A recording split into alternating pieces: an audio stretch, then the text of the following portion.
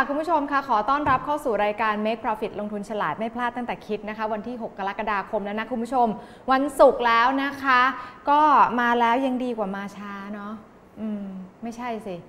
มาแล้วยังดีกว่าไม่มา เริ่มงงตัวเอง วันศุกร์แล้วเบลอๆนิดนึงนะคะอะคุณผู้ชมเมื่อวานนี้เห็นภาพตลาดแล้วที่เราขึ้นมากันทั้งหมดอะ่ะกี่วันที่ผ่านมาเนี่ย มันเอาคืนหมดเลยอะ่ะ ที่เราอุตส่าห์ขึ้นไปไฮอะไรนะ1632ใช่ไหมเมื่อวานนี้วันเดียวอะพรวดเกือบหลุดเลยอะคือมันหลุดไปตอนระหว่างการซื้อขายนะคะ 1,596.55 จุด แต่ว่าตอนปิดเนี่ย ปิดที่ 1,601.42 จุด ติดลบไป 27.78 จุดอะคุณผู้ชม อืม ลงแรงจริง ๆ เลยอะก็เมื่อวานนี้ขายกันทั่วหน้าเลย ต่างชาติก็ขาย สถาบันก็ขายกองอะไรนะเขาเรียกว่าอะไรนักลงทุนฝั่งฝั่งโบรกเกอร์ก็ขายย่อยซื้อจ้ะลายย่อยซื้อลายเดียวนะคะอืมก็เมื่อวานนี้เจอเข้าไปนะทุกคนก็กังวลกันอยู่วันศุกร์นี้ เกี่ยวกับเรื่องของมาตรการที่ทางด้านโดนัลด์ทรัมป์จะจัดการกับทางด้านของประเทศจีนในการขูดรีดภาษีจากสินค้านำเข้าจากประเทศจีนนะคะ ซึ่งหลาย ๆ คนก็บอกว่าโอ้วงเงิน 3-5หมื่นล้าน แต่คุณผู้ชมล่าสุดเมื่อเช้านี้เนี่ยมันมีข่าวออกมาโดนัลด์ทรัมป์ขู่อาจจะเก็บภาษีนำเข้าสินค้าจากจีนเนี่ยวงเงินกว่า 5 แสนล้านดอลลาร์สหรัฐ ซึ่งเจ้ามูลค่า 5 แสนล้านดอลลาร์สหรัฐตรงนี้เนี่ยค่ะ มันคือมูลค่าสินค้าที่สหรัฐนำเข้าจากจีนทั้งหมดเมื่อปีที่แล้ว คุณผู้ชม ขู่กันขนาดนี้วันนี้จะเหลืออะไรไหมเนี่ยอะ เอาเก็บเก็บความตระหนกวันไว้ก่อนนะย้ำช่องทางการรับชมกันก่อนนะคุณผู้ชมคะไม่ว่าจะเป็นทางด้านของแฟนเพจที่คุณผู้ชมรับชมอยู่ตอนนี้นะคะ ทาง Channel 8 Thailand แล้วก็ Make Profit ลงทุนฉลาดไม่พลาดตั้งแต่คิดนะคะ แล้วก็ยังมีเว็บไซต์ www.channel8thailand.com มีแอปพลิเคชันค่ะดาวน์โหลดได้เลยทั้ง iOS แล้วก็ Android นะคะ Channel 8 นะคะก็ลองเสิร์ชดูค่ะ สัญลักษณ์อย่างที่เห็นเป็นเลข 8 สีชมพูสีม่วงนี่นะคะ แล้วก็ยังมี YouTube ค่ะ Channel 8 Thailand มี Twitter นะคะ CH8 Thailand นะคะ แล้วก็มีอุปกรณ์รกคูทีวีทุกรุ่นนะคะ เป็นตัว USB เสียบเข้ากับที่หน้าจอช่อง HDMI นะคะ เปิดเน็ตปั๊บ ดูทีวีได้ 3,000 กว่าช่องทั่วโลกนะคะ อืมอ่านะช่องทางการรับชมมีมากมายนะ แล้วก็คุณผู้ชมเดี๋ยวขอรายงานข่าว วันนี้มีแต่ข่าวไม่ดีมาฝากคุณผู้ชมอะว่าจะไม่ตามยังจะ คือจะไม่เกาะติดสถานการณ์เท่าไหร่แล้วเพราะเดี๋ยวจะกลัวในเรื่องคำถามเนาะแต่ว่าคือมันก็จะมีข่าวร้ายมาเพิ่มช่วงนี้ประเทศไทยมีข่าวร้ายเยอะจังเลยอะ่ะมีทั้งเครื่องบินตกใช่ไหมแล้วก็มีเรือล่มเมื่อคืนนี้ที่ภูเก็ตนะคะแล้วก็ล่าสุดเนี่ยที่ต้องจากเชียงรายอีกแล้วกลับไปที่ถ้ำหลวงค่ะคุณผู้ชม ทาง Spring News นะคะ รายงานว่านักทำลายใต้น้ำจู่โจมนอกราชการอายุ 38 ปี ที่รับภารกิจให้ลำเลียงขวดอากาศจากโถง 3 ภายในถ้ำหลวงไปยังจุดต่างๆ บริเวณ 3 แยกนะคะ ตั้งแต่เมื่อวานนี้เวลาเริ่มดำน้ำเนี่ยคือตอน2ทุ่มประมาณ2ทุ่ม37 นาที เมื่อเสร็จภารกิจขณะดำน้ำกลับ ได้หมดสติในน้ำผู้ดำน้ำได้ทำการปฐมพยาบาลนะคะ CPR แต่ว่าก็ไม่ได้สติ จึงนำกลับไปยังโถง 3 เพื่อปฐมพยาบาลอีกครั้ง แต่ก็ยังไม่ได้สติแล้วก็เสียชีวิตลงตอนประมาณตีหนึ่งนะคะ แล้วก็เจ้าหน้าที่ก็เลยนำร่างออกจากถ้ำหลวง ไปส่งโรงพยาบาลค่ายพยาเมงรายมหาราชนะคะ ก็ทาง Spring New บอกว่าเดี๋ยวรอการถแถลงยืนยันอีกครั้งจากท่านผู้ว่านะคะราชการจังหวัดเชียงรายเนาะก็จะมีการประชุมเช้าวันนี้ ซึ่งตอนนี้ก็เนี้ยแถลงเรียบร้อยแล้วล่ะคุณผู้ชม ก็เดี๋ยวเดี๋ยวรอความคืบหน้าแล้วกันนะคะ แล้วก็มาดูภาพของเมื่อคืนดีกว่าของตลาดหุ้นสหรัฐนะคะ ดาวโจนส์ S&P 500 NASDAQ บวกกันทั่วหน้าค่ะคุณผู้ชมคะท่ามกลางการรายงานนะคะว่าทางฝั่งของสหรัฐแล้วก็ EU เนี่ยจะถอนมาตรการรีดภาษีรถยนต์ หลังจากที่นางแองเกลาเมอร์เคิลนะคะนายกรัฐมนตรีเยอรมันแต่อังกฤษเฉยเลยไปเยอรมันนะคะ บอกว่าเดี๋ยวจะลดภาษีนำเข้าที่เรียกเก็บภาษีรถยนต์ของสหรัฐ นะคะจะลดลงนะคะ แต่อันนั้นยังเป็นเรื่องจิ๊บจ๊อยถ้าเกิดเรียบเปรียบเทียบกับเรื่องของจีนนี่แหละคุณผู้ชมนะแล้วก็เช้าวันนี้เนี่ยดูซิพอทางด้านของคุณโดนัลด์ทรัมป์เนี่ยมาบอกนะขู่กันแล้วเนี่ยว่าจะเก็บเนี่ยกว่า 5 0 0แสนล้านดอลลาร์นะการเคลื่อนไหวของเอเชียเป็นยังไง ตอนนี้นิกเคอิตอนนี้บวกอยู่นะ 0.67%ในขณะที่ตอนนี้ข้างล่างคุณผู้ชมเห็นไหมแดงหมดเลย แดง เซี่ยงไฮ้ Composite ของจีนติดลบไป 0.61%ฮั่งเส็งฮ่องกงติดลบไป 0.34เอ่อขออภัย 0.23%นะคะ Weighted ไต้หวันติดลบไป 0.37%คอสปีเกาหลีใต้ติดลบไป 0.23%อินโดนีเซียค่ะติดลบไป 0.23%เอ้ยไอ้0.32%เอ้ยตัวเลขมันสลับกันฟิลิปปินส์หนักหน่อยนะ ติดลบไป 1.22%แต่ Straits Times สิงคโปร์ติดลบหนักที่สุด2.06%กันเลยทีเดียวนะคะ มาดูน้ำมัน น้ำมันก็ลงแรงนะคะ ในรอบสัปดาห์เลยนะหลังจากที่มีการรายงานสต็อกน้ำมันดิบออกมาจากสำนักงานสารสนเทศด้านการพลังงานของสหรัฐหรือว่า EIA นะคะบอกว่าน้ำมันดิบสัปดาห์ที่แล้วเนี่ยสต็อกน้ำมันเนี่ยเพิ่มเกินคาดแบบผิดคาดเลยแหละต้องบอกอย่างนั้นนะคะ เพิ่มขึ้นไป 1.2 ล้านบาร์เรลนะคะ เดิมคาดว่า จะลดลงไป 4.5 ล้านบาร์เรล ก็เลยไปกดดันนะคะทำให้ราคาน้ำมันดิบย่อลงมา เหลือ 72 ดอลลาร์ 94 เซนต์ต่อบาร์เรล ทองคำจากค่าเงินดอลลาร์สหรัฐที่อ่อนค่านะคะทางด้านของทองคำเนี่ยก็มีการปรับตัวเพิ่มขึ้นนะคะ 1,258 ดอลลาร์ 80 เซนต์ต่อทรอยออนซ์ ค่าเงินบาทค่ะ ยังอ่อนค่าอยู่นะคะ 33 บาท 21 สตางค์ต่อดอลลาร์สหรัฐนะคะ ก็ อะคุณผู้ชมวันนี้ตอนเนี้ยเซตเนี่ยเรายังบอกอะไรมากไม่ได้ถึงแม้ว่า pre-opening เนี่ยจะเตรียมเป็นบวกก็ตาม แต่อย่างที่เมื่อกี้รายงานเล่าให้คุณผู้ชมฟังไปแล้วเนาะว่าโดนัลด์ทรัมป์ขู่กันมาขนาดนี้เนี่ยนะแล้วภูมิภาคเอเชียเช้าวันนี้เนี่ยเห็นไหมลบกันแบบ เยอะแยะเต็มไปหมดเลยนะจะเป็นยังไงกันบ้างนะคะสำหรับวันนี้ตลาดหุ้นไทยเราจะมาพูดคุยกันนะคะกับคุณคณคัตจิระเสวีนุประพันธ์นะคะ หรือว่าคุณชัยนั่นเองจากบริษัทหลักทรัพย์โนมุระพัฒนสิน คุณชัยคะสวัสดีค่ะ ครับ สวัสดีครับ คุณชัยเห็นแล้วก็อ่อนใจ คือเราอุตส่าห์ขึ้นกันไปในเมื่อวานนี้วันเดียวนะ ที่ขึ้นไปไม่มีความหมายอะไรเลย ลงมาอยู่ที่เดิมอีกแล้ว ที่เดิมใช่ครับ แล้วก็เป็นที่เดิมที่ใกล้เคียงกับวันที่ 29 ที่เราเคยเจอกันเมื่อวันศุกร์ครับนั่นน่ะสิอาทิตย์หนึ่งเลยนะ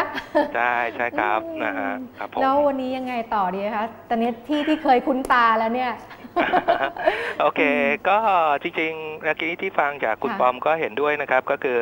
เห็นค่อนข้างชัดนะครับว่าเม็ดเงินนั้นมีหมุนเข้ามาในส่วนของสหรัฐอเมริกาแล้วก็ยุโรปนะครับขณะที่เอเชียนั้นยังมีความผันผวนอยู่นะครับ โดยเฉพาะอย่างยิ่งในช่วงของวันนี้นะครับ ก็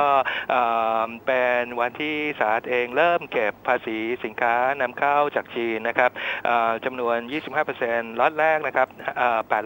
818 รายการนะครับมูลค่า 3.4 หมื่นล้านดอลลาร์นะครับแล้วก็ของฝั่งจีนเองก็เช่นเดียวกันนะครับ ก็คือทำการเรียกเก็บนะครับ ภาษีนำเข้าสินค้าสหรัฐนะครับล็อตแรกนะครับ 545 รายการ 3.4 หมื่นล้านดอลลาร์เช่นเดียวกันนะครับ อันนี้ก็เหมือนก็ยังเป็นลักษณะตอบโต้กันไปมานะครับทำให้ดูจากตัวสภาพของในเอเชียเองก็เห็นค่อนข้างชัดนะครับว่ามีภาพของการอ่อนตัวลงเป็นหลักครับผม ค่ะ เพราะฉะนั้นวันนี้ ตลาดหุ้นไทย คราวนี้เราก็มาดูในมุมของทางด้านเทคนิคการนะครับก็จะพบว่าในมุมของทางด้านเทคนิคนั้น จริงๆ ผมก็ต้องตอบเหมือนเดิมไปก่อนนะครับก็คืออย่างที่ครั้งที่แล้วแม้ว่าผมจะตอบในแง่คือขอดูตลาดหรือก็หรือว่าไม่ได้เข้าอะไรมากนัก แต่ว่าทั้งนั้นตั้งแต่วันที่ 29 ปรากฏว่ามันคุ้นขึ้นถูกไหมครับ แต่แต่ท้ายสุดแล้วก็กลับมาใกล้ๆวันที่ 29 เหมือนเดิม ดังนั้นผมเชื่อว่าถ้าการตอบรับคงใกล้ๆกันในเอเชียไปก่อนนะครับ ช่วงแรกนะครับต้นทุนนะครับจะอยู่แถวๆหนึ่งห้าเก้า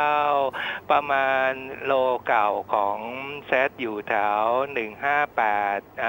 ประมาณหนึ่งห้าแปดหกหนึ่งห้าแปดสี่นะครับ เป็นแนวรับ แต่ว่าถ้าขยับแนวรับ ขึ้นมาหน่อยหนึ่งนะครับก็คือ158 1590 ดังนั้นผมอาจจะตอบโจทย์ก็คือ 1590ขีด1584 นั่นเองทำหน้าที่เป็นแนวรับนะครับ ส่วนดาวต้านผมยังใช้ตัวเลขก็ไม่ค่อยเปลี่ยนจากวันที่ 29 ที่แนะนำก็คือ 1608สละ1615 ไปก่อนนั่นเองครับผม โอเค อ่า ทีนี้เนี่ย วันนี้เนี่ยไปไม่ถูกเลยจะ เราจะอยู่ฝั่งไหนมากกว่ากันคะคุคิณดชัว่ายคะน่าจะอยู่ฝั่งใกล้ๆเอ่ออย่างที่เรียนให้ทราบไปก็คือเอ่อน่าจะใกล้เคียงกับการเคลื่อนไหวในเอเชียมากกว่าอืมก็คือพิจารณาในฐานของแนวรับเป็นหลักก่อนค่ะครับผมค่ะอะทีนี้เนี่ย หุ้นแนะนำวันนี้จะมีไหมอะคะ ก็เลยผมคิดว่าก็เหมือนกันนะครับ ผมค่ะก็เลยเลือกหุ้นที่ไม่ได้เหวี่ยงตามเซตอ่าๆนะครับ เหมือนครั้งที่แล้วที่เลือกตัวโกไปนะครับ ก็ค่ะขึ้นไปทดสอบก่อน แล้วก็ค่อยอ่อนตัวลงนะครับค่ะเอ่อวันนี้ผมก็เลยเลือกตัวเอ่อในส่วนของโรงพยาบาลแห่งหนึ่งนะครับ ก็คือ BCH นะครับค่ะโดยบางกอกเชนถ้าในแง่ของพื้นฐานนะครับ ก็คือเออมี 3 ส่วนด้วยกันนะครับที่น่าสนใจก็คือเออการคาดการณ์ในไตรมาสที่2นะครับก็คือน่าจะมีกำไร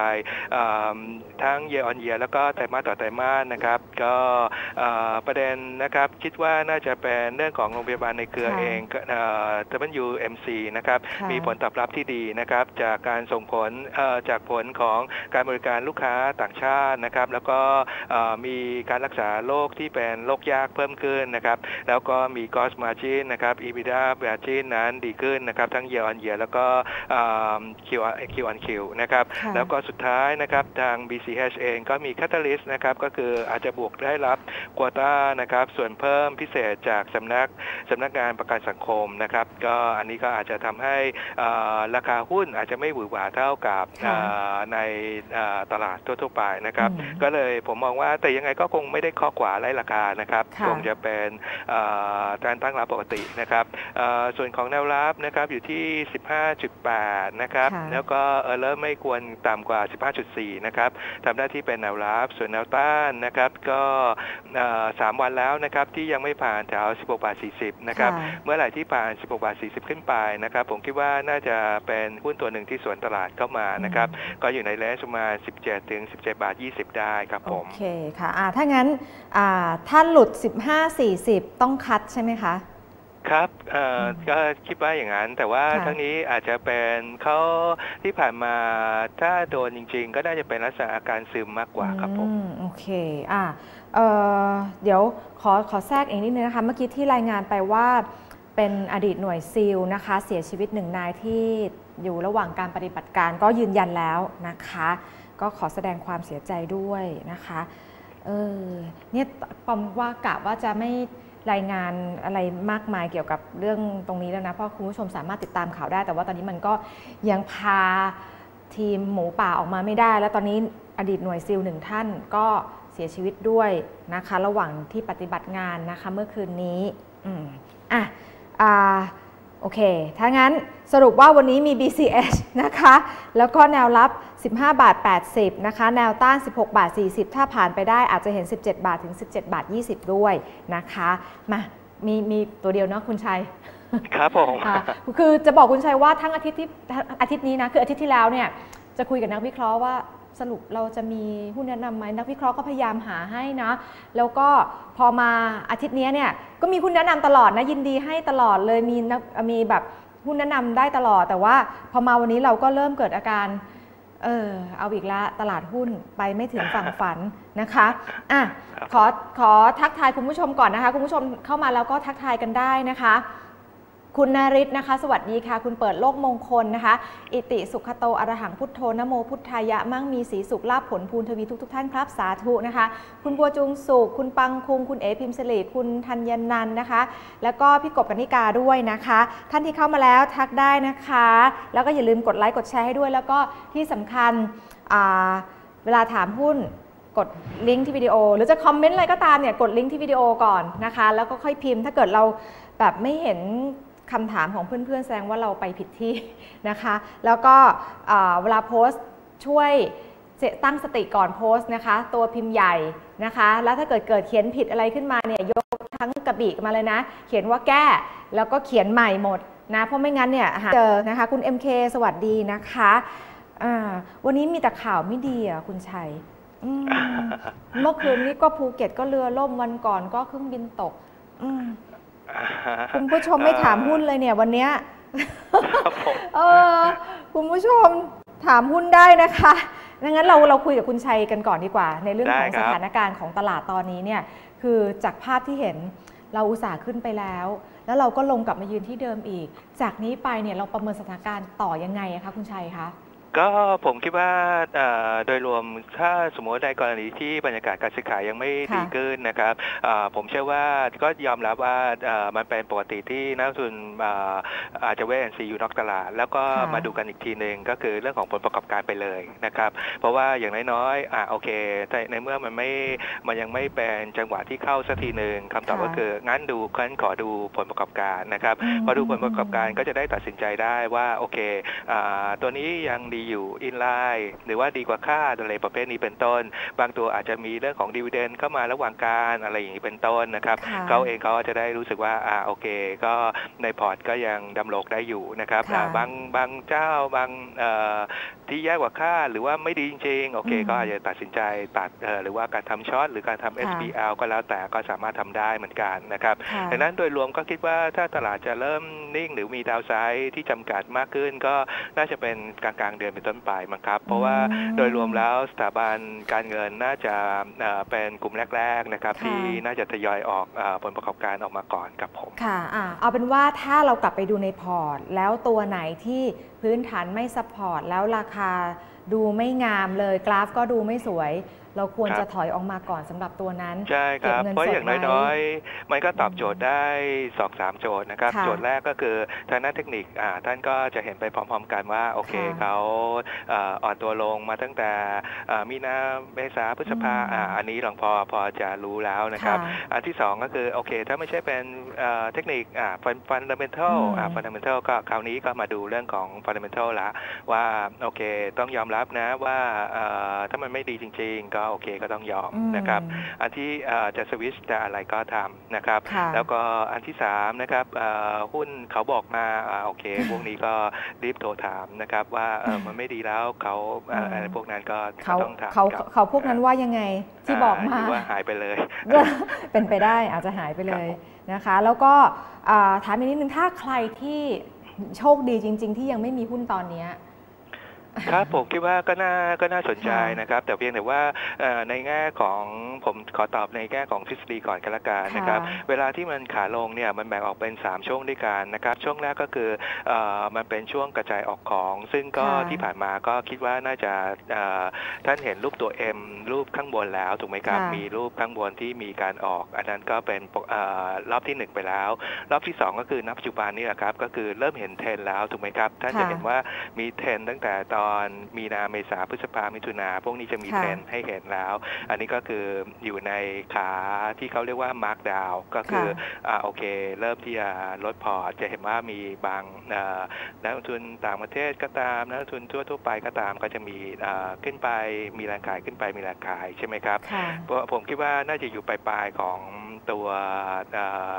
รูปของขาลงนะครับ แต่ว่าอืมพอเสร็จจากตรงนั้นไม่ใช่แปลว่ามันจะขึ้นทันที มันจะเข้าสู่ในส่วนของเออซบเซาอืมนะครับพอซบเซาก็การเข้าสู่ในส่วนของเอ่อ accumulate ก็คือการสะสมรอบใหม่อื มันจะมันจะเป็นรอบๆยกเว้นแต่ว่าเราโชคดีตรงที่ว่าเป็น V shape เลย อันนั้นค่ะก็โอเคอีกเรื่องหนึ่งค่ะแต่ถ้าคิดไปว่าถ้าบรรยากาศค่ะแบบนี้คงไม่คงไม่ได้เป็น V shape เร็วค่ะ ถ้าไปสะสมรอบใหม่ก็เหมือนกับคราวเกาะปีที่แล้วอะที่นิ่ใช่งอย่างก็นั้นอะต้องใช้เวลาไปก่อนค่ะครับผมอ่าเดี๋ยวขอขอแทรกถามคุณสุพลนิดนึงนะคะ บอกว่าจะย้ายไปซื้อ SET fifty นี่คือ future ใช่ไหมคะ ยังไงช่วยช่วยระบุมาด้วยนะคะอ่าหรือว่าเป็นตัวหุ้นใน SET fifty หรือยังไงคะ คุณฝากคุณสพลเขียนเขียนเพิ่มด้วยนะคะอตอนนี้คำถามเริ่มเข้ามาเรื่อยๆแล้ว ได้ชื่อแล้วนะคะ ต้องขอแสดงความเสียใจนะคะ กับจ่าเอกสมานกุนันนะคะ ผู้ที่เสียชีวิตนะคะในถ้ำเมื่อคืนนี้นะคะ แล้วก็สาเหตุก็คือว่าตอนขากลับนั้นขาดอากาศนะคะ ก็เลยทำให้เสียชีวิตนะคะ ขอแสดงความเสียใจจริง ๆ แล้วก็ ขอชื่นชมด้วยนะคะในการเสียสละของท่านด้วยนะคะมาคำถามาคุณผู้ชมถามถึงตัว D 3ตัว Do Day Dream Snail White ใช่ไหม Snail White ไม่ใช่ Snow White ใช่ครับ DDD ยังไม่มีนะคะ ขอแนวรับแนวต้าน เมื่อวานนี้ปิดอยู่ที่ 44 บาท 50 ค่ะอ๋อไม่ใช่เมื่อวานนี้เช้านี้เอาเซตเปิดแล้วนะคะ คุณผู้ชมขออภัย 1,593.56 จุดนะคะ ติดลบไป 7.86 จุด หรือว่า 0.49%มา ดีดีดีรับไหมคะ 44 บาทไม่ครับ50 ไม่ครับเอ่อโดยปกติแล้วก็เอ่อเวลาเปิดแก๊ปลงอย่างค่ะของเมื่อวานนี้เปิดแก๊ปลงเนี่ยโดยโดยปกติเวลาเปิดแก๊ปนั้นก็คือไม่ไม่ได้ส่วนค่ะนะครับ คงจะเอ่อมีภาพให้เขาโดยพฤติกรรมของเขาจะเห็นว่าตอนเปิดแก๊ปลงเขาเคยเป็นแบบนี้มาสองสามสองครั้งนะครับเอ่อเริ่มต้นจากตัวครั้ง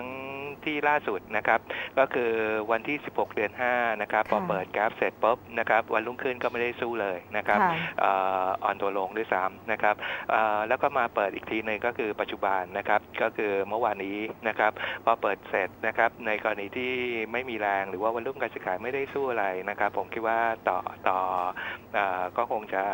เอ่อดูก่อนว่ามีเอ่อจุดกลับตัวหรือเปล่า แต่ถ้าไม่มีแท่งเขียวแท่งอะไรประกอบผมคิดว่าก็ยังมีแค่อย่างเดียวเองก็คือเรื่องของโอโซเฉยๆนะครับก็เป็นเรื่องของสัญญาณมากกว่านะครับ ดังนั้นถ้าอยากจะต่อรองจริง ๆ ก็ขออนุญาตดูโลของเมื่อวานนี้เป็นหลักก่อนก็แล้วกันนะครับแถวเอ่อ40 บาท 50 ไปก่อนครับผม ค่ะ โอเค อะเอ่อชัยโยค่ะ C H A Y O YO ครับผม ค่ะ ยังก็ไม่มี ครับก็จริงๆแล้วผมคิดว่าเขาเล่นอยู่ในกรอบที่แคบก็คือไม่ได้เหวี่ยงเอ่อมากนักนะครับ ดังนั้นเอ่อถ้าเป็นไปได้ผมคิดว่าผมขอต่อรองราคาอยู่แต่แถวที่เคยปรับตัวขึ้นมาวันที่ 3 เดือน 7 นะครับ ตอนที่ปรับตัวขึ้นนั้นอยู่แถว 3.56 โดยประมาณนะครับค่ะแล้วก็ส่วนแนวต้านท่านจะเห็นว่าเป็นยอดสูงพอๆกันหมดตั้งแต่ 3.9 3.88 จนถึง 3.92 ก็ค่ะ เป็นแนวต้านไปก่อนนั่นเองครับผม ค่ะ โอเคอ่า3.88 ถึง 3.92 เพราะฉะนั้นถ้าเกิดรับตรงนี้ห้ามหลุดเท่าไหร่คะ ห้ามหลุดตรงนี้ด้วยไหมจคะ ริงๆ3บาท56อะฮะโดยประมาณโอครับเค ผม 3.56 คัดนะคะอ่า IRPC IRPC ต้นทุก็ น ต้นทุน 6 บาทเลยค่ะอืม ผมคิดว่าก็คงต้องรอครับเพราะว่าโดยรวมถ้าเราเห็นจากชาร์ตไปพร้อมๆกัน ก็จะพบว่าอยอดสูงแต่ละครั้งเขาลดลงมาตลอดใช่ไหมครับ แล้วก็ยอดต่ำแต่ละครั้งก็ลดลงมาเรื่อยๆ จริงๆเขามีจุดกลับตัวอยู่เอ่อเมื่อวันที่ 3 เดือน 7 อยู่อันหนึงนะครับค่ะก็คือเป็นแท่งโดจิยาวๆนะครับอืมเป็นลองเล็ก ก็ถือว่าเอ่อผมเอาเลือกแท่งนี้เป็นหลักก็แล้วกันค่ะนะครับ ก็คือแถว5บาท50 นะครับค่ะส่วนถ้ายังยืนเหนือหรือเท่ากับได้นะครับ ผมคิดว่าถ้าติดตัวกลับขึ้นไปนะครับกงและลอกแรกๆก็อยู่แถวๆบริเวณที่ท่านติดอยู่นะครับค่ะก็คือ 5.95 ถึงค่ะ6บาทนั่นเองครับผมอืมถ้างั้น ถ้าถ้ามีอยู่ทำยังไงดีคะที่ก็6บาทก็ผมคิดว่าลุ้นให้5บาท50ตรงเนี้ยครับ ถ้าค่ะไม่ได้หลุดอะไรก็โอเคเอ่อลองก็ถืลุ้อนดูไปอีกก่อนทีหนึ่งครับผมค่ะ ตอนนี้ใน Facebook broadcast interrupt ไปเรียบร้อยแล้วอะกลับมาอีกแล้วอะโอเคต่ออาสรุปว่าในส่วนของ s a f e 50นะคะ คือ อ๋อ จะไปลงในกองทุนรวม อืม ถ้างั้นยังไงดีคะ ควรจะไปซื้อกองทุนรวมที่ลงทุนใน s a f e 50ดีไหมคะ เอ่อจริงๆก็ค่ะเห็นด้วยนะครับอืมเพราะว่าอย่างน้อยๆ แต่ว่าก็ขออนุญาตนะครับ อาจจะไม่ใช่เป็นไม้เดียวนะครับอืมคงจะเป็นเหมือนคล้ายๆเอ่อพิจารณาที่เขาค่ะเอ่อทางตลาดหลักทรัพย์เอ่อโปรโมทเรื่องของ DCA ครับค่ะก็คงจะอ่าใช้ dollar cost average ไปก่อนค่ะครับผมอืมโอเคถ้างั้นก็ซื้อได้แต่ค่อยๆ ทยอยซื้อไปนะคะ คือดูช่วงไหนลงเราก็ค่อยไปรับ ใช่ครับอืมครับผมโอเค ก็ลองพิจารณาแล้วแต่ก็เข้าไปดูนโยบายไปดูถ้าเกิดจะดูกองทุนรวมก็ดูนโยบายเขาด้วยนะคะว่าปันผลหรือไม่ปันผลหรือว่าลงทุนในเซฟิตี้เนี่ยเป็นกลุ่มไหน sector ไหนคือคุณผู้ชมต้องลงรายละเอียดนิดนึงนะคะอ่า IT City ค่ะ ต้นทุน 4 บาท 44 จะถือยาวสู้ดีไหมตอนนี้ 4 บาท 38อืม คำว่าสู้ดีไหมก็จริงๆคงได้เอ่อในส่วนตัวคงได้ข่าวอะไรมาหรือเปล่าครับอืมถ้าสมมติว่ามีมีจริง ๆ มีข่าวมีอะไรก็เข้ามาก็ลองลองดูก็ได้ครับค่ะแต่ว่าทั้งนี้ทั้งนั้นนะครับ เนื่องจากตัวสภาพคล่องของเขามีบ้างไม่มีบ้างถูกไหมครับ ถ้าเราค่ะดูจากตัววอลุ่มการซื้อขาย ในแง่ของทางด้านเทคนิคก็ต้องยอมรับว่าเอ่อบทไม่มีสภาพคล่องท่านก็ต้องยอมเออรับสภาพเรื่องของการซึมลงไปก่อนนะครับค่ะแล้วก็ถ้ามีการดีดตัวขึ้นแต่เวลาเขาขึ้นเขาขึ้นก็ขึ้นได้เอ่อเร็วเหมือนกันนะครับเอ่อการขึ้นแต่ละรอบนะครับ ดังนั้นตัวเลขนะครับ ผมคิดว่าผมเอาฐานของรูปสามเหลี่ยมไปก่อนนะครับอืมเนื่องจากเอ่อถ้าท่านดูจากตัวชาร์ตไปพร้อมๆกันนะครับอืมจะพบว่ามันออกไปทางด้านสามเหลี่ยมแนวรับอยู่แถวสาเอ่อสี่บาทสามสองนะครับค่ะถ้าไม่หลุดอะไรไปก็ถือว่าใช้ได้นะครับโอเคแล้วก็แนวต้านก็คือยอดสูงยอดสูงท่านลากลงมาก่อนนะครับ ก็จะค่ะได้อยู่ที่แถวๆสี่บาทหกสิบสี่บาทหกสิบหกครับผมอืมโอเค ถ้างั้นดูไว้อย่าให้หลุด 4 บาท 32 นะคะ ครับอ่าเอ่อ AOT ค่ะ ยังไม่มี ตอนนี้ 65 บาท 75 สตางค์คุณผู้ชมขอหุ้นเพิ่มด้วยนะคะ จริงๆ ในแง่ของ AOT ในเอ่อในทางทฤษฎีก็ถือว่าดีขึ้นนะครับค่ะโดยปกติแล้วเอ่อเอ่อเราเห็นไอตัวแท่งเขียวสามแท่งนานๆ ได้เห็นทีที่ติดติดๆกันนะครับอืมเอ่อโดยปกติแล้วก็ถือว่าเขาพยายามที่จะมีการกลับตัวเหมือนกันนะครับ ดังนั้นแท่งเขียวสามแท่งที่ปรากฏอยู่นะครับ ตั้งแต่วันที่ 2 วันที่ 3 วันที่ 4 นะครับ ขออนุญาตอาจจะเอ่อใช้ 63 กับตัว 68 แล้วหาค่าเฉลี่ยก่อนนะครับค่ะถ้าได้อ่าสมมติว่าอยู่ในเลนจ์ประมาณ 65 หรือ 64.5อ่าแล้วก็หยุดได้ ผมก็เชื่อว่าควรจะต้องเป็นฐานยกกับเขาสักทีหนึ่งนะครับ ถ้าทำได้ก็โอเค แต่ว่าตัวของ 68 ยังเป็นแนวต้านไปก่อนนะครับค่ะแล้วก็ถ้าเบรกขึ้นไปได้ในอนาคตข้างหน้า แล้วก็เราก็ไปเล่นเลนจ์อยู่แถวบริเวณ 70 บาท แต่ต้องยอมรับก่อนนะครับ เนื่องจากการลงของเขาเป็นลงแบบขั้นบันไดอืมดังนั้นเวลาการขึ้นก็น่าจะมีโอกาสเป็นขั้นบันไดเหมือนกันก็คือไม่ได้ขึ้นปุดปานนะครับค่ะครับผมอืมก็ถ้าเกิดรับก็อาจจะต้องค่อยๆ รอนิดนึง ใช่ครับนะคะครับผมอ่า CPO ค่ะเออเดี๋ยวขอรายงานเซตหน่อยเห็นแล้วก็มันก็ชี้ช้ำอยู่นะเนี่ยอืมติดลบไป 10 จุดละ10 จุดเลยทีเดียวตอนนี้ล่าสุดนะคะ อ่าเดี๋ยวรอเน็ตแป๊บหนึ่งหมุนหมุนหมุนหมุนมันไม่ขึ้นให้ดูอันนี้ก็ได้แหมอยู่ใกล้ๆ1590นะครับอะหนึ่งห้าตอนนี้หนึ่งห้าเก้า หนึ่งจุดหนึ่งศูนย์จุดนะคะ ติดลบไปสิบเอ็ดจุดแล้วคุณชัยสิบเอ็ดจุดสามสองจุด โอ้อะแนวรับวันนี้อืมหนึ่งห้าเก้าศูนย์ที่คุณชัยให้เอาไว้นะคะ ก็ว่าคราวที่แล้วก็ไม่หลุดนะ ที่ตอนนั้นที่เราคุยกันเรื่องแนวรับของเซตอะเออแนวต้าน 1608 แล้วก็ 1615 นะคะ ถ้าแนวรับ 1590 หลุดก็จะเป็น 1584 นะคะ สงสัยเน็ตมีปัญหาจริงเนี่ยวิ เอ่ออ่าเขาเรียกว่าอะไรอะอะไรอะมันกราฟไม่ขึ้นช้าใช่ไหมครับเอออ๋อมัน refresh ตลอดเวลาอะต่อ CPO ค่ะ CPO CPO นะครับค่ะ ยังไม่มี โอเค ก็ CPO ก็เป็นอีกตัวหนึ่งนะครับที่พยายามเอ่อยืนเหนือเส้นค่าเฉลี่ย 10 นะครับ แต่ว่าก็เอ่อไม่เต็ม max นะครับ ก็คือเวลาเข้ามาพิจารณาเอิ่มก็อาจจะใช้ 2-3 วันที่ผ่านมาค่าเฉลี่ยอยู่ที่บริเวณ 75.25 ไปก่อนนะครับ แล้วก็ตัวของแนวต้านนะครับ ก็คิดว่า ถ้ายังไม่มีวอลุ่มการซื้อขายเข้ามาหนักๆนะครับ ก็กลายเป็น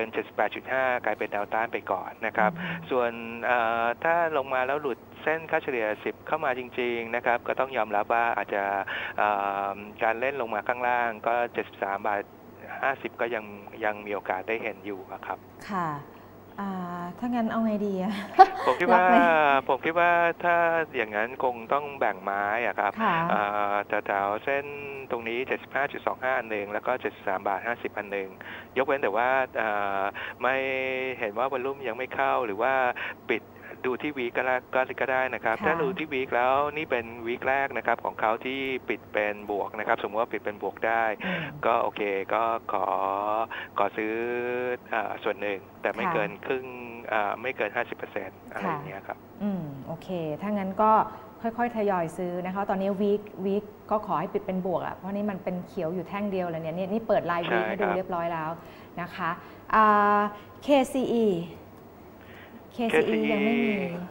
ก็ที่ผ่านมาก็ถือว่าค่อนข้างแข็งแรงแล้วก็สวนกับค่ะเซตอยู่นะครับ แต่เพียงแต่ว่าตอนเบรกครั้งสุดท้ายอืมนะครับเอ่อถ้าเราดูตั้งแต่วันที่ 24 เดือน 4 ที่มันเป็นยอดสูงนะครับ ตอน 39 บาทนะครับ พอ 39 บาทเสร็จปุ๊บ แล้วก็มีการเบรกวันที่ 2 เดือน 7 นะครับ เบรก39 บาทขึ้นไป แต่ปรากฏว่าเบรกปุ๊บ วอลุ่มการซื้อขายหายหมดอืมวันไม่ไม่มีเลย ก็ถ้ากับเป็น fall back อยู่นะครับ ดังนั้นแถวๆ39บาทต้องเปลี่ยนสถานะให้ได้ก่อนว่าเป็นแนวรับนะครับ ถ้าสมมติว่าเปลี่ยนไม่ได้ก็การไหลลงมาก็ต้องยอมรับว่าเสียเวลาไปนะครับ อาจจะไหลลงมาแถว38 บาทอีกรอบหนึ่งนะครับ ดังนั้นมีอยู่ 2 ช้อยนะครับหนึ่งก็คือขออนุญาตดูบิดออฟเฟอร์สู้กันแถว 39 บาทให้ให้เห็นหน่อยนะครับ แล้วถ้าสู้ได้ก็เล่นระหว่าง 39 แต่ก็คงไม่เกิน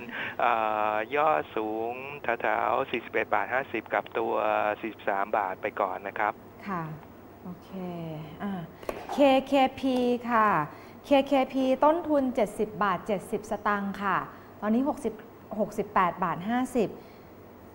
ก็เขียนนี่ไว้เป็นคิงอีกตัวหนึ่งเหมือนกันนะครับที่อืมเอ่อขึ้นไปแล้วทำ fall back ก็คือ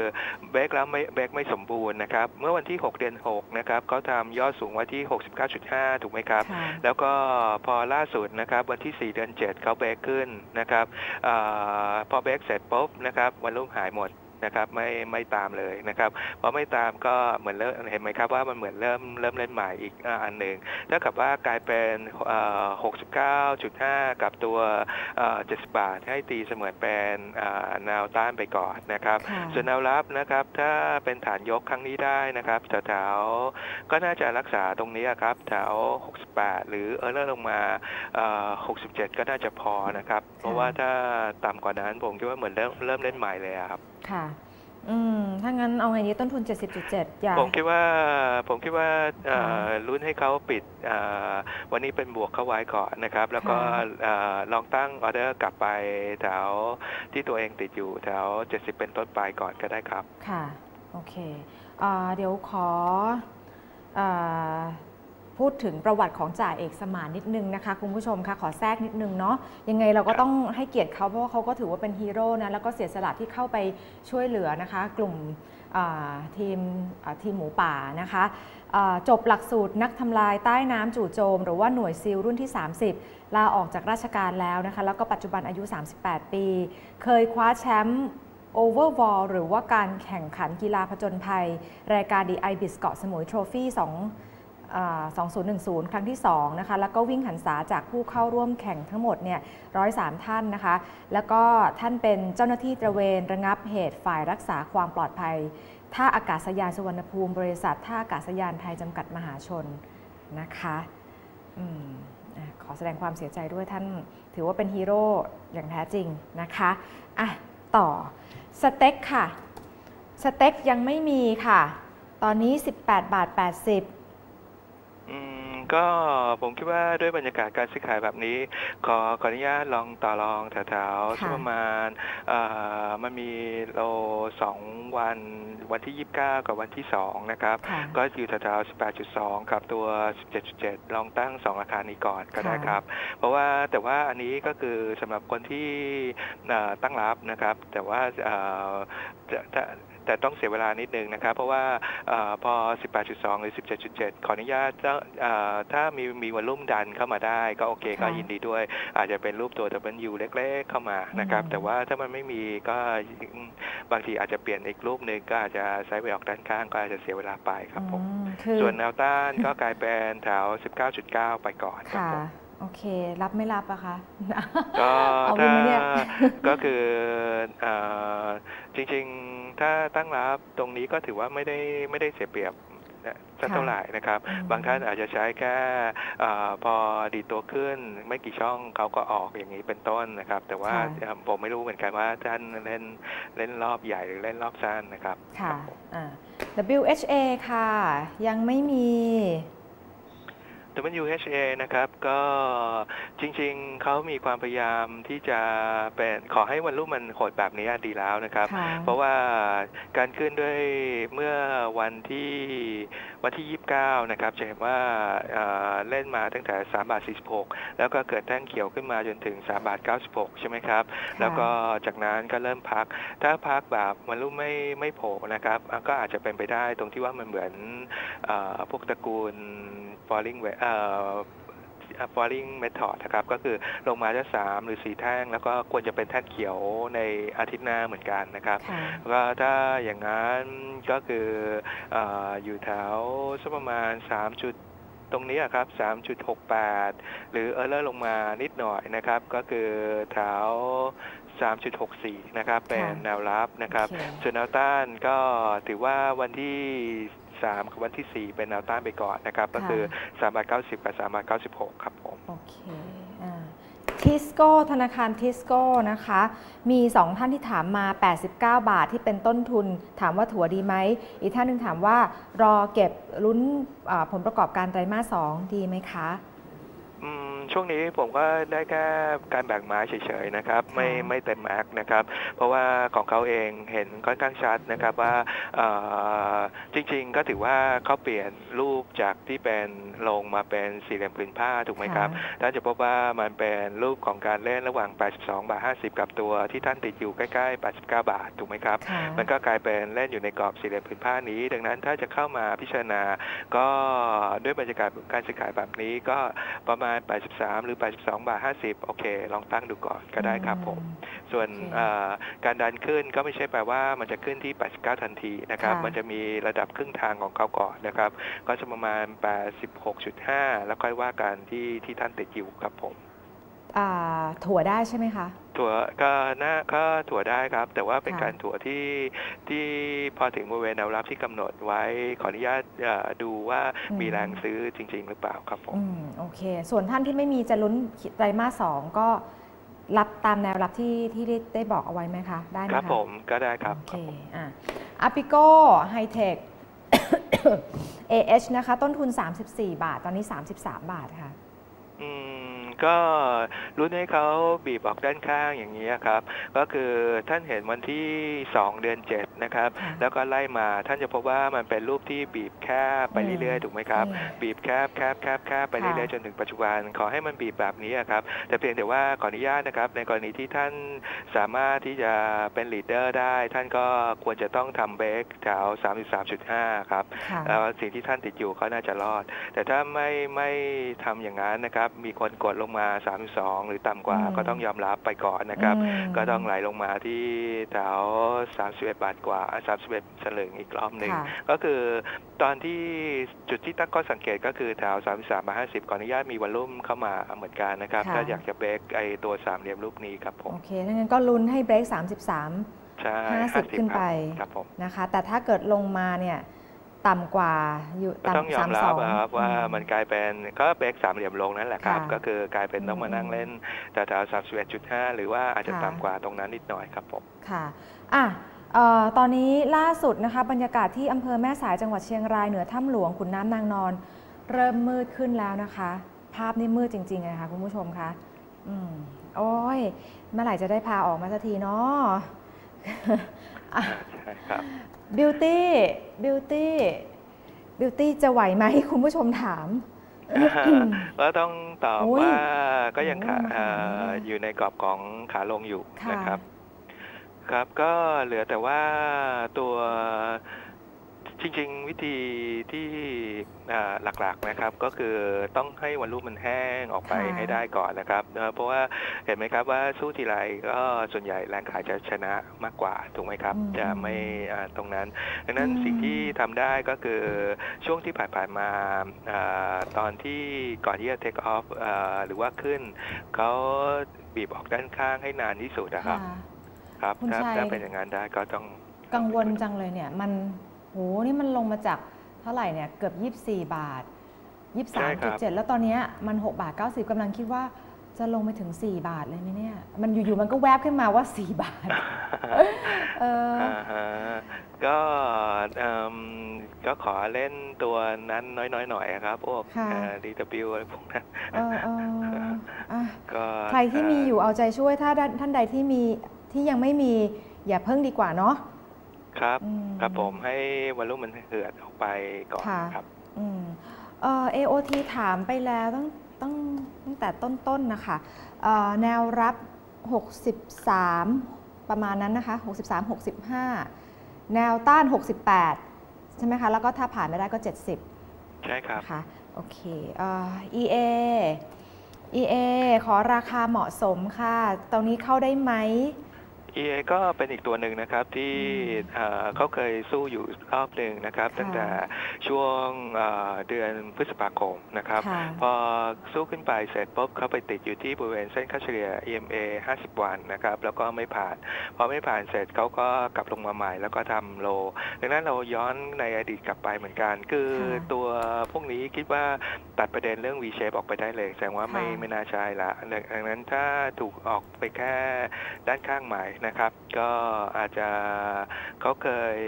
สร้างฐานกันอยู่ระหว่างตัว 27 กับ 25 ครับค่ะก็ก็อาจจะพิจารณาแถวๆนั้นไปก่อนครับผม ค่ะ 27 แล้วก็ 25 นะ ถ้าเกิดอยากจะรับไปรอดูตรงนั้นก่อนอีกทีดีกว่า ว่าจะหลุดไหมนะครัคะบก็คือสร้างเหมือนสร้างโซน แล้วก็ oversold ถ้าเราแบบอ่า แต่ว่ามันก็มีแค่ตรงนั้นนะครับ มี oversold ค่ะมีเรื่องของการสร้างโซน แต่ว่าอืมยังไม่มีภาพของการฟื้นแบบกลับนะ engulfing อะไรพวกอืมเพศอืมที่แบบกลับตัวอะไรอย่างนั้น ก็ยังไม่ได้เกิดอะไรขนาดนั้นนะครับค่ะอืมเมื่อวานนี้ปอมไปสัมมนาของอาวิศวกรรมสถานแห่งประเทศไทยมา แล้วก็มีเนี่ยแหละบริษัทย่อยของ EA เนี่ยแหละค่ะเขาขึ้นเวที ก็คุยกันเกี่ยวกับเรื่องของรถ EV ที่จะมาในอนาคต อันนี้เล่าเล่าให้ฟังคร่าวๆนะคะเขาก็พยายามพัฒนาไปอยู่เรื่อยๆนะคะ แล้วก็ตอนนี้ก็มีในส่วนของ charging station นะคะ ก็คือตัวที่จะไปเป็นเป็นเหมือนปั๊มปั๊มชาร์จไฟฟ้ารถไฟฟ้าอีกทีหนึ่งนะคะ ซึ่งก็เขาบอกทุกคนเนี่ยทั้งสมาคมายานยนต์ไฟฟ้าประเทศไทย ทั้งการไฟฟ้านครหลวงไทยนะคะ ทั้ง 3 ท่านเนี่ยบอกเลยบอกว่าอีก 5 ปีเราน่าจะได้เห็นรถยานยนต์เนี่ยที่ใช้ไฟฟ้าเนี่ยเข้ามาอย่างอย่างแบบมากขึ้นน่ะนะคะ แต่ตอนนี้ก็สิ่งที่กังวลอยู่ก็คือเรื่องพวกน้ำอะไรอย่างเงี้ยเรื่องของการชาร์จที่ใช้เวลานานนะคะ แต่มันก็มีการพัฒนาไปเรื่อยๆซึ่งปอมว่าได้เห็นแน่ๆแหละเพราะว่าจีนเขาก็ใช้กันเยอะแยะเกลื่อนกลาดไปหมดแล้ว เหลือไทยตอนนี้เราจะ ปรับตัวยังไงบ้างนะคะ เพราะฉะนั้นก็อันนี้มองในแง่ของพื้นฐานที่กำลังจะมา แต่ว่าราคาหุ้นมันก็ลงเรื่อยๆนะคะ ก็เดี๋ยวรอดูแล้วกันเนาะอะถ้างั้นใช่ครับรอรอที่ 27 แล้วก็ 25 บาท ซึ่งถ้ารับอยู่ ถ้ารับอยู่แนวต้านให้เท่าไหร่คะ EA ผมคิดว่าเอ่อการถ้าปรับตัวขึ้นไปนะครับ โดยปกติแล้ว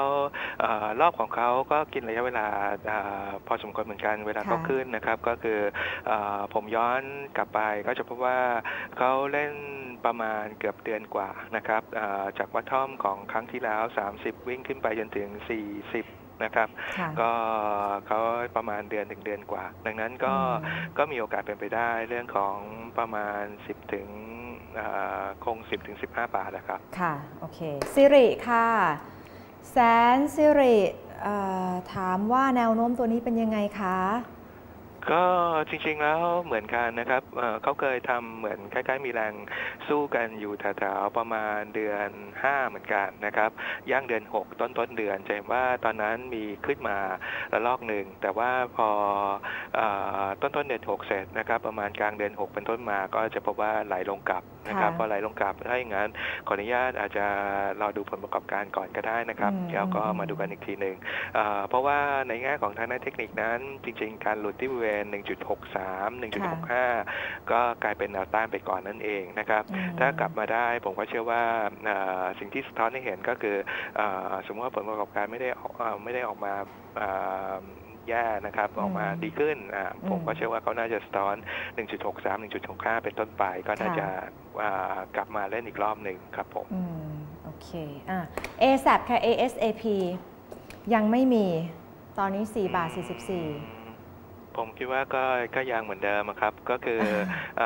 อผมก็คงตอบโจทย์ได้โจทย์ค่ะหนึ่งก็คือมีโอเวอร์โซเป็นหลัก แล้วก็ค่ะสิ่งที่ท่านได้ก็อาจจะต้นทุน ก็อาจจะไม่ไม่ไม่ได้เสียเปรียบเท่านั้นเองนะครับ แต่เพียงแต่ว่าเอ่อคำถามคือเออมันถ้าตัวการกลับตัวมันยังไม่ได้เกิด ยกเว้นแต่ว่าผมอาจจะคิดผิดไปก็คืออมเอ่อเอาแค่อ่าสามช่องเลิกสี่ช่องเอาค่ะถ้าอย่างนั้นก็คือโอเคก็เข้าเข้าซื้อนะครับค่ะก็คือสี่บาท4บาทก็เข้าซื้อค่ะเอ่อโทษทีนะครับ ประมาณ4บาท12แล้วก็ในบ้าน เอ่อแนวต้านก็แท่งยาวแท่งนี้ครับเพราะว่าอืมเมื่อวานนี้ถูกกดลงมาด้วยแท่งยาวเฟือเลยนะครับค่ะกลายเป็นว่าเอ่อท่านอาจจะแบ่งซอยย่อยนะครับ ก็คือท่านใช้ 5 บาท 45 กับตัว 4 บาท แล้วก็หาค่า 1 ใน 3 ครึ่งหนึ่ง2ใน 3 ไปก่อนครับผม อืมอ่าอ่า CPF ค่ะ คำว่าเล่นสั้นจริง ๆ แล้ว ช่วงบริเวณเปลี่ยนสเปรดเนี่ยมันก็สั้นอยู่แล้วนะครับ เพราะว่าช่วงอะไรที่เปลี่ยนสเปรดแถว 25 บาท ก็ 25 ก็เป็นแนวต้านโดยปกติของตัวมันเองไปก่อนค่ะนะครับดังนั้นผมก็ต้องตอบโจทย์ว่าถ้าเล่นสั้นจริง ๆ ก็อยู่ประมาณนี้ครับ 25 ไม่เกิน 25 บาท 50 นะครับอืมส่วนแนวต้านส่วนแนวรับนะครับก็เนื่องจากเขาเป็นสามเหลี่ยมรูปหนึ่งแคบๆนะครับท่านจะพบว่าเอ่อถ้าเราลากตัวลากเอ่อรูปแบบของสามเหลี่ยม ดังนั้นตัวฐาน20 24ก็น่าจะควรจะต้องรับอยู่เหมือนกันครับผมค่ะ24 ต้องรับอยู่นะคะอะ UV Uni Venture ยังไม่มีอืมผมก็เหมือนกันนะครับก็คือแพทเทิร์นของเขาต้องยอมรับก่อนเราเล่นอยู่ในตัวดาวเทนถูกไหมครับ เพราะว่ายอดสูงยอดสูง เตี้ยลงหมด ยอดต่ำก็เตี้ยลงหมด จะมีที่สู้กันอยู่คล้ายๆ กับเหมือนจะสู้กัน แต่ขออนุญาตขอเช็คที่วอลลุ่มนะครับหกบาทหกสิบห้าท่านวันวันที่ยี่สิบเก้าวันที่ยี่สิบแปดนะครับอ่าโทษทีวันที่ยี่สิบเก้าฐานอยู่หกจุดหกห้าวันที่สองฐานอยู่หกจุดหกห้าค่ะนะครับ แล้วก็วิ่งขึ้นไปนิดหน่อยนะครับอืมแถวเจ็ดบาทสิบห้าแล้วก็กลับมา6.65เทสอีกแล้วใหม่เนี่ยเมื่อหกวานจุดนี้หกห้าอีก ดังนั้นถ้าอยากจะเป็นรูปตัวค่ะตัวแต่มันอยู่เล็กๆ รูปค่ะนี้นะครับ ขออนุญาตท่านต้องสร้างวันรุ่มเข้ามานะครับ ถึงจะทำเป็นรูปตัวแต่มันอยู่ได้นะครับ ก็คือแท่งจะต้องเป็นแท่งเขียวให้เห็นเหมือนกันนะครับค่ะแถว6.65 ในกรณีที่โอเคไม่ไม่ใช่เราเป็นแค่ follow เฉยๆ ก็ไม่ไม่ต้องเข้านะครับ เพราะว่าจะต้องให้ให้ดีดเป็นคนทำ6.65 แล้วก็วิ่งขึ้นไปก่อนอืมครับคือผมคือเราต้องมีแรงซื้อกลับเข้ามาใช่ให้ต้องดันมีแรงขึ้นไปให้ซื้ได้ข้เหมือนคราวที่ใช่ครับแล้ว ใช่ครับอืมเอาเป็นว่าอยากเข้าเลย เพราะว่าถ้าเข้ามันก็กลายเอ่อเข้าสู้มันก็เล่นอยู่ในกรอบ 6.65 กับค่ะ7.2 ไปก่อนนะนั่นถ้าองถ้าเกิดจะเล่าก็จะเข้าก็ 6.65 แล้วก็ 7.2 นะคะใช่ครับแต่ถ้าเกิดอืมถ้าไม่ถ้าดูแล้วไม่มีสู้กันเลยเออก็ขออนุญาตก็อยู่มันนอกตลาดไปก่อน ใช่ ถ้าเกิดดูบิดออฟเฟอร์มันนิ่งๆเงียบๆก็อย่าเข้าไปเลยนะคะครับอะครับผม CK มีอ่าอะไรเนี่ย เดี๋ยวก่อนแป๊บหนึ่งนะคะ 28 32 28ทับ32 มีอืมต้นทุนหรือเปล่าครับเอ่อกำลังสงสัย 28.32 หรือเปล่าคะ หรือว่าน่าจะ 28.32 อะ โอเคก็อืมเอ่อถ้าในมุมของพื้นฐานค่ะก็ยังเป็น คอนเซนแซสหรือว่าของทางเราเองก็ยังเป็นซื้ออยู่นะครับค่ะแต่ถ้าในมุมของทางด้านเทคนิคก็ต้องยอมรับว่าเอ่อเป็นหุ้นตัวหนึ่งที่เวลาไหลลงมาก็มักจะกลับมาสู่ฐานเดิมๆเขาถูกไหมครับ ขึ้นไปยอดสูงแต่ละครั้งเขาก็ลดลงมาตลอดถูกไหมครับค่ะอ่าถ้าดูจากตัวชาร์ตไปพร้อมๆกันนะครับ แล้วก็การขึ้นรู้สึกว่าจะออกไปทางด้านรูปตัว U เป็นส่วนใหญ่ถูกไหมครับ คือจะต้องนอนออกด้านข้างสักพักหนึ่งแล้วก็วิ่งขึ้นไปแล้วก็แล้วก็หายต่อมนะครับอืมดังนั้นถ้าเขาออกด้านข้างได้เมื่อไหร่นะครับ ก็คือเขาน่าจะอยู่ที่ฐานระหว่างตัวยี่สามจุดหกกับตัวยี่ห้าจุดเจ็ดห้าสมมติว่าค่ะเป็นฐานที่ออกด้านข้างได้แล้วค่ะก็ท่านอาจจะเล่นลงซื้อขึ้นขายตรงนี้ไปก่อนนะครับอืมหรืออ่าถ้างั้นที่ท่านติดอยู่ก็ค่ะคงจะต้องรอไปก่อนครับค่ะผมคือคุณผู้ชมถามว่าเด้งขึ้นมาขายก่อนแล้วลงมารับด้านล่างดีไหมก็ตามนี้เลยนะคะ คือใช่ครับ25.75 เสร็จแล้วพอขายลงก็มาก็ลงมารับ 23.6 ประมาณหรืนี้อสูงกว่าเขาไว้ครับผมโอเคใช่ครับอะอ่าห้ามหลุด 23.6 ด้วยใช่ไหมคะ ใช่ครับ เพราะว่าค่ะถ้าหลุดอีกมันก็มันก็จะกลายเป็นค่ค่อนข้างเสียเวลาเพิ่มขึ้นอีกอะครับ มันก็ค่ะจะเอ้ยมาเล่นกรอบข้างล่างอีกอ่าอืมมันก็อาจจะยากหน่อยอะ Netbay ค่ะ Netbay ยังไม่มีอ่าไม่ใช่สิ Netbay bottom หรือยังยังอืม ก็ยังอะครับอืมเพราะว่าคำว่า bottom ในที่นี้คือ รูปของการเปลี่ยนรูปให้เห็นก็ยังดีอะครับ เป็นค่ะเอ่อ hammer เป็นรูปอะไรก็ได้ให้เราเห็น ไม่ไม่ไม่มีคำว่าตกรถนะครับ เพราะว่าโดยรวมถ้ามันเป็น V shape ก็โอเค ก็ต้องยอมรับว่าโอเค ตกรถ แต่ถ้ามันไม่ใช่อย่างนั้นมันเป็นรูปที่ที่ผ่านมาเอ่อออกด้านข้าง แล้วก็ค่อยๆทำเป็นรูปตัว W เห็นค่ะในอดีตไหมครับ ส่วนใหญ่แล้วจะออกด้านข้างสักพักหนึ่งแล้วก็ไปคลอเคลียอยู่ที่เส้นค่าเฉลี่ยสักพักค่ะหนึ่งท่านอาจจะใช้เส้น 10 หรือเส้น 5 ก็ได้ครับ ในการ back test ไว้นะครับอืมตราบใดที่ไม่ได้ผ่านอะไรก็ไม่ไม่ไม่ตกรถนะครับ ค่ะอ่าถ้างั้นรอก่อนนะคะ ถ้ายังไม่มีก็ไม่ต้องเอานะครัคะบ IVL IVL เอ่อแนวโน้มตัวนี้เป็นยังไงคะ ตอนนี้ 52 บาท ลงเรื่อย ๆ เลย ใช่ครับ เพราะว่าตัวนี้ขึ้นเทสครั้งสุดท้ายเป็นการขึ้นที่ไปชนบริเวณเอ่อวันที่ 18 เดือน 6 นะครับ ก็เปิดกราฟลงมาถูกไหมครับเอ่อเปิดกราฟที่ 57.5 แล้วก็เลี้ยงออกด้านข้างไป แล้วก็มีคืออีกวันหนึ่งก็คือวันที่ 3 เดือน 7 ขึ้นไปสู้ใหม่นะครับที่ 57.5 อีกทีหนึ่งถูกไหมครับค่ะแล้วก็จากนั้นเราก็อืมค่อยออนตัวลงนะครับพอออนตัวลงเสร็จปุ๊บนะครับเอ่อก็จะเห็นค่อนข้างชัดว่าเอ่อที่ผ่านมาท่านจะพบว่าท่านก็ลากตัวช n นลได้นะครับ ระหว่างยอดสูงกับยอดสูงยอดต่ำกับยอดต่ำลากค่ะไปอะท่านก็จะได้อยู่แถวๆเอ่อฐานเดิมๆเขานะครับอ่าแถวๆปัจจุบันนะครับ 51 กับตัว 49.5 นั่นเองครับค่ะ ถ้างั้นก็คือ 51 กับ 49.5 เป็นแนวแล้วรับก็ไปดู bid offer ใหม่ใช่ครับค่ะว่าสู้กันไหมครับผมอ่าถ้าไม่มีใครสู้อะไรเลยก็ไม่ต้องเข้าไป ก็หยุดอีกใช่ครับนะคะยกเว้นแต่ว่าเอ่อทำไมถึงต้องตอบแบบนั้น ก็เพราะว่าเอ่อเราต้องตอบโจทย์ตัวเราเองก่อนว่าค่ะเอ่อเป็นเอ่อผู้นำหรือว่าผู้ตามที่ดีอะครับ ค่ะอืมถ้าเกิดมันมีแรงสู้เข้ามาให้แนวต้านเท่าไหร่คะ ถ้าสู้เข้ามานะครับ ก็คือตอนที่เข้าเบรกลงมาเอ่อล่าสุดแถวๆบริเวณ 54 บาทบังคับว่าเป็นแนวต้านไปก่อน แล้วค่อยว่ากันแถว 57.5 ใหม่ครับผมอืมโอเคอะบ้านปู บ้านปูยังไม่มีค่ะ ตอนนี้ 19 บาท 40อืม ก็เช่นเดียวกันนะครับ ก็คือในเมื่อไม่มีแล้วแต่ว่าไม่มีจุดกลับตัวใดๆถูกไหมครับ มันเป็นแท่งแดงปกตินะครับเอ่อเราก็ไปดูว่าอ่าสิ่งที่เราต่อรองดูซิว่า 19.2 ที่เคยทำไว้กับตัว 18.9 แล้วก็ไปดูที่อ่าตัว bid แถวๆนั้นว่า bid offer สู้กันไหม ถ้าค่ะไม่มีแววเลย ลงมาแล้วก็แช่ๆได้เงินเข้ามาครับ อืมอืมโอเค อะเอ่อ MTC ค่ะ MTC ต้นทุน 38 บาทจะคัดก่อนดีไหมคะอืมค่าในที่นี้ก็ต้องคำนวณก่อนนะครับว่าค่ะเอ่อการไหลลงก็ของเขาประมาณ 32.25 กับค่ะตัว 30บาท50 นะครับ คงมี 2 แนวนี้นะครับ ก็ถ้าอย่างอืมผมคิดว่า มันมี 2 ช้อยนะครับหนึ่งถ้าจะทำขออนุญาตทำก็ไม่ไม่เต็มแม็กร้อยเปอร์เซ็นต์นะครับ ก็ลองเออต้องถามตัวเราเองก่อนว่าเคยทำพวกการทำช็อตเนี่ยเป็นไหมถ้าไม่เป็นก็ขออนุญาตหยุดไม่ไม่เอานะครับค่ะแต่ถ้าทำได้ก็โอเค ลองทำดูสักประมาณครึ่งครึ่งหนึ่งค่ะแล้วก็เอ่อดูผลประกอบการอืมอีกเพราะอย่างที่เรียนให้ทราบไปพวกสถาบันการเงินน่าจะเริ่มทยอยทยอยออก เอ่อตั้งประมาณกลางกลางๆเดือนแล้วมั้งครับค่ะก็คงจะเริ่มละค่ะเอ่อขอแทรกอีกนิดนึงนะคะอ่าวันที่ทางด้านของจ่าสมานนะคะเดินทางไปช่วยเหลือไปร่วมภารกิจนะคะก็มีทางจ่าสมานได้โพสต์ขอบคุณผู้อำนวยการท่าอากาศยานด้วยนะคะที่อนุญาตให้ไปร่วมภารกิจ ก็คือว่าขออนุญาตแล้วทางผู้อำนวยการท่าอากาศยานสุวรรณภูมินะคะก็ให้ไปร่วมภารกิจนี้นะคะอืม ก็ต้องชื่นชมแหละว่านะคะว่าทั้งทั้ง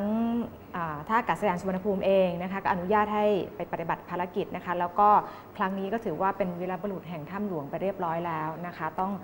ขอชื่นชมเลยนะคะ ทางด้านของจ่าสมานนะคะ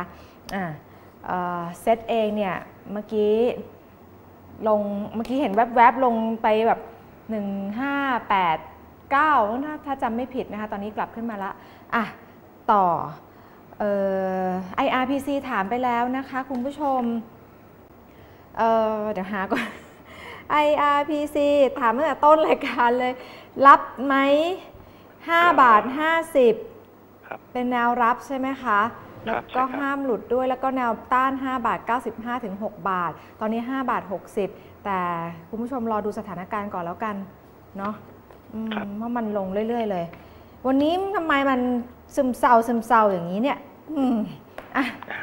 มิ้นมิ้นแนวโน้มเป็นยังไงคะตัวนี้ ตอนนี้ 32 บาท 75 สตางค์ อินนะครับก็ค่ะโอเคก็ถ้าสอบโจทย์ในแง่ของทางด้านเทคนิคก็ต้องยอมรับว่าเอ่อก็ยังเป็น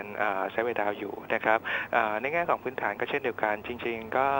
เอ่อได้แจ้งก่อนหน้านี้นะครับว่าในกรณีที่มีดีลเอ่อเรื่องของการซื้อกิจการเอ่อของเราของทางเราเองก็ให้รอความชัดเจนก่อนนะครับค่ะว่าเอ่อเอ่อคงอีกสักพักหนึ่งนะครับเอิ่มราคาหุ้นเองก็ปรับตัวลดลงมาแล้วนะครับคงจะเอ่อรอดูผลประกอบการเอ่อของรอบนี้ก่อนก็ได้ครับ แล้วก็ค่ะดูความคืบหน้าในเรื่องเกี่ยวกับเอ่อการซื้อกิจการดังกล่าวนะครับค่ะแต่ถ้าในแง่ของทางด้านเทคนิคนั้นก็เอ่อแนวรับก็อยู่ที่ประมาณ 31.25 แล้วก็ 30 บาท แต่ว่าผมคิดว่าถ้าผมคิดว่าถ้าเป็นลักษณะสไตล์แบบนี้ก็เช่นเดียวกันก็ขอดูเอ่อผลประกอบการเป็นหลักก่อนครับผม โอเค งั้นรอสถานการณ์ก่อนแล้วกันนะครัคะบใช่ครับอะปตทลงหนัก รับดีไหมอันนี้45 บาทเอ่อต้อง ตัวผู้เล่นหรือว่าผู้ที่ถามนั้น ถ้าเล่นขาลงได้ก็โอเคอืมก็เอ่อก็ก็ทำนะครับ แต่ถ้าไม่เคยเล่นมาก่อนขออนุญาตหยุดนะครับค่ะเพราะว่าการเล่นกับขาลงก็ต้องเออก็ต้องมีความเอ่อตัวเอ่อตั้งลิมิตของตัวเองไว้ว่าโอเคยอมรับความเสี่ยงได้ที่เท่าไหร่นะครับค่ะเอ่อดังนั้นถ้าตอบโจทย์ก่อนนะครับ ถ้าเราลากระหว่าง high to high low to low ก่อนนะครับค่ะแล้วก็ลากลงมาก็จะได้อยู่แถวๆตรงนี้หนึ่งครั้ง 44 บาท 75 โอเคค่ะตรงนี้หนึ่งครั้ง แล้วก็อีกรอบอีกรอบหนึ่งนะครับ ถ้าก็เคยมีฐานอยู่แถวๆ3เอ่อ43บาท43บาท50 โดยประมาณนะครับค่ะตรงนี้อีกหนึ่งครั้งนะครับ แล้วก็ถ้าเด้งขึ้นแน่นอนตอนที่เขาเบรกลงครั้งสุดท้ายมันคือ 47 แล้วก็ท่านก็อาจจะตั้งอ่าตัว target ไว้ครับผม ค่ะ โอเค อะเคแบง ต้นทุน 216 บาทจะถัวดีไหมคะ ตอนนี้อืม194 บาท อีกสักพักหนึ่งก็ผลประกอบการแบงก์ก็จะทยอยทยอยออกอยู่แล้ว ถ้าอย่างนั้นขออนุญาตดูดูเอ่อดูไตรมาสก่อนกันละกันนะครับเอ่อแต่ว่ายกเว้นแต่ว่าอยากได้จริง ๆ ก็โอเค แล้วก็ไปดูที่ตัวแนวรับหลักๆ ที่เขาเคยซ้ำไปซ้ำมานะครับค่ะก็เริ่มต้นจากวันที่ 25 เดือน 4 ก็ค่ะคือ 188.5 วันที่ 4 เดือน 5 188.5เออ189 วันที่ 17 189 วันที่31อ่า190ค่ะแล้วก็มาอยู่ที่ 188.5 แถว 26.5 วันที่ 26 ดังนั้นก็ถ้ามันซ้ำไปซ้ำมาด้วยตัวเลขดังกล่าว ก็ขอเริ่มต้นจาก 190 กับ 188.5 นั่นเองครับค่ะผมโอเค ถ้างั้นถ้าจะถัวก็ลงไปก่อน 190 กับใช่ครับ188.5 นะคะอะ LPN ค่ะ LPN รับได้หรือยังคะอะอืม ก็จริงๆก็พยายามเป็นฐานยก แล้วก็ค่ะทำยอดสูงยกสูงอยู่ ดังนั้นเอ่อคำว่ารับได้หรือยังผมคิดว่าที่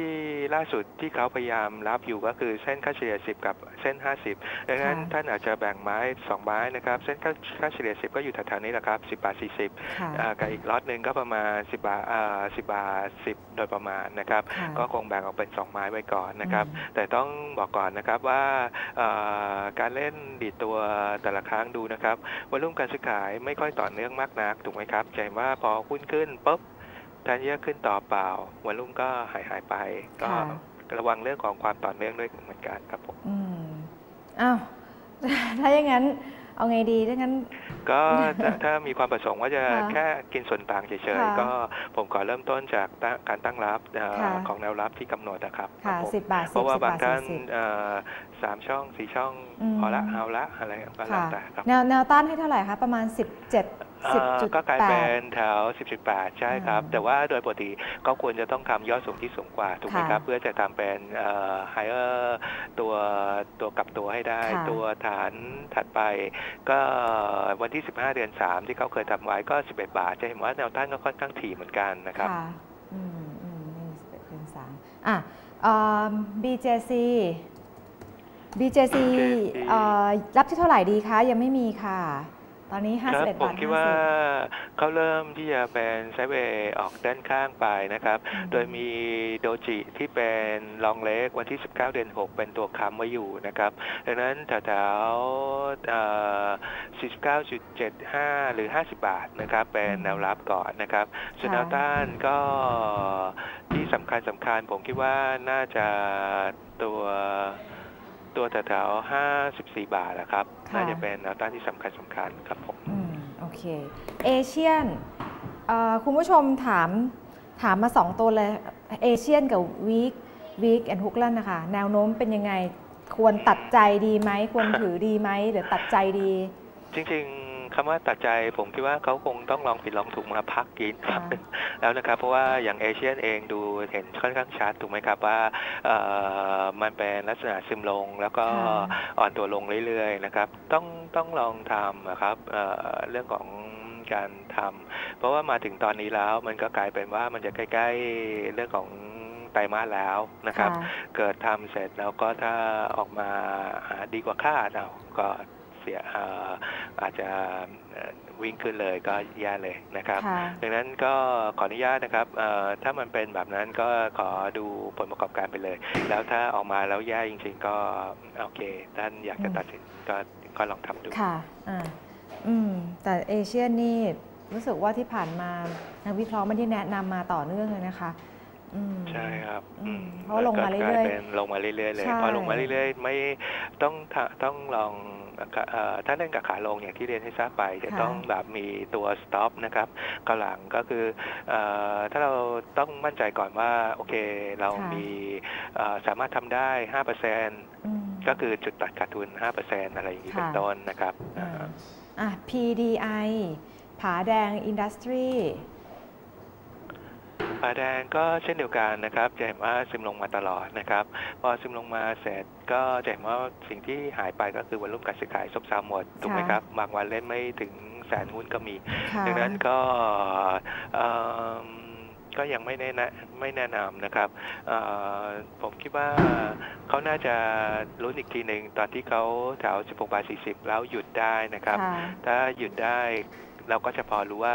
เอ่อเขาเล่นอยู่ในระหว่าง 16บาท40 กับตัว 18บาท40 อย่างเงี้ยค่ะเราก็พอจะรู้กรอบเอ่อกรอบได้ แต่ณปัจจุบันเรายังไม่เห็นว่า 16บาท40 สู้สู้เอาซะเลยนะครับอืมเงียบอืมครับผมอืมถ้างั้นไม่มีก็ไม่เอา ก็หยุดก่อนครับผมค่ะอ่าคุณผู้ชมถามว่าหลังเที่ยงนี้เทรดบอลจะไปทางไหนคะ เนี่ยรอรอทรัมป์อยู่เนี่ยรอทรัมป์ทรัมป์ยังไม่บอกอะไรแต่ว่าก็อย่างที่ข่าวที่แจ้งคุณผู้ชมไปแหละ เนาะใช่ครับเอก็อทรัมป์ว่าไงจีนว่าไงสู้กันไปรเคลื่อไหวมาของใช่ครับ การเคลื่อนไหวของตลาดหุ้นจีนนะครับ ค่ะอืมตอนนี้ยังเงียบยังไม่มีอะไรเพิ่มเติมนะคะอะ SPRC SPRC แนวรับที่เท่าไหร่คะอืม ก็เช่นเดียวกันนะครับ ลองสังเกตดูก็จะพบว่าเอ่อเวลาสู้กันก็มักจะไปติดที่เส้นค่าเฉลี่ย10 วันใช่ไหมครับค่ะแล้วก็ไม่ผ่านพอไม่ผ่านก็ไหลลงมาพอไหลลงมาแต่ละครั้งก็ทำยอดต่ำเอ่อเตี้ยลง นะครับ ดังนั้นถ้าเป็นไปได้ก็คือมี 12.8 และในกรณีที่ทำยอดต่ำเตี้ยลงนะครับ ก็อาจจะไหลลงมาแถวๆ12.3 โดยประมาณครับผมอืมแล้วก็เส้นค่าเฉลี่ย 10 วันก็กลายเป็นแนวต้านไปก่อนนะครับอืมแถวๆ13บาท30 แล้วก็เอ่อถ้าเบรกได้ก็ไม่เกิน 14 บาทครับผม ค่ะ แต่ยังไม่มีก็ไม่เอาดีกว่าไหมคะ ครับก็เอ่อผมคิดว่า ถ้าเป็นไปได้ดูค่ะลูกพี่หลักก่อนไปดูปตทค่ะพวกนั้นหยุดก่อนก็ได้ครับ แล้วก็ถ้าอืมทำได้ก็ก็ให้มาดูตัวเอ่อที่เป็นเอ่อลองลองลงมาครับผมค่ะอ้าวมาดูเซตหน่อยละค่ะ คุณผู้ชมคะตอนนี้เซตอินดี x นะคะอยู่ที่ 1,591.48 จุดนะคะเอ่อ ติดลบไป 9.94 จุด หรือว่า 0.62%ด้วยกันนะคะ ว่าไปก็หมดเวลาแล้วด้วยครับนะคะเอาละค่ะ คุณผู้ชมคะต้องขอขอบพระคุณนะคะ ทางด้านของคุณคณคัตจิระเสวีนุประพันธ์หรือว่าคุณชัยนะคะ ที่มาให้ข้อมูลแล้วก็ร่วมกับรายการกับเราในวันนี้ ขอบพระคุณมาก ๆ ค่ะ คุณชัยค่ะครับ สวัสดีครับค่ะ คุณผู้ชมอ้าว CPO เดี๋ยวรบกวนย้อนดูอีกทีนึงนะคะ หมดเวลาแล้วนะอ่าก็ขอให้ทุกท่านโชคดีในการลงทุนก็ส่งกำลังใจไปให้ทุกคนแหละ นะคะ นอกจากจะส่งกำลังใจไปให้ทีมช่วยเหลือที่ถ้ำหลวงแล้ว เราก็ต้องมีกำลังใจในการต่อสู้ วันนี้ต่อไปนะคะ เห็นแล้วเราว่าตลาดไม่ดีจริง ๆนะคะ ก็ลุ้นกันมันเป็นอะไรที่เราควบคุมไม่ได้นะคะ เป็นปัจจัยในต่างประเทศนะคะ ก็ยังไงอะไรที่แบบเสี่ยงสูงๆที่มีอยู่ในพอร์ต แล้วแบบดูแล้วเคราะห์ซ้ำกรรมซัดเหลือเกิน พื้นฐานก็ไม่ดีเทคนิคก็ไม่ดีออกเถอะค่ะ นะยังดีกว่าที่มันจะลงไปมากกว่านี้นะคะ เอาละค่ะวันนี้หมดเวลาแล้วค่ะ ปอมปริชาพรมโยธีพร้อมทีมงานช anel 8ต้องลต้องลาคุณผู้ชมไปก่อนนะคะ พบกันใหม่อาทิตย์หน้าวันจันทร์เหมือนเดิมนะคะ9โมง29จนถึง 10โมง40 ค่ะ วันนี้สวัสดีค่ะ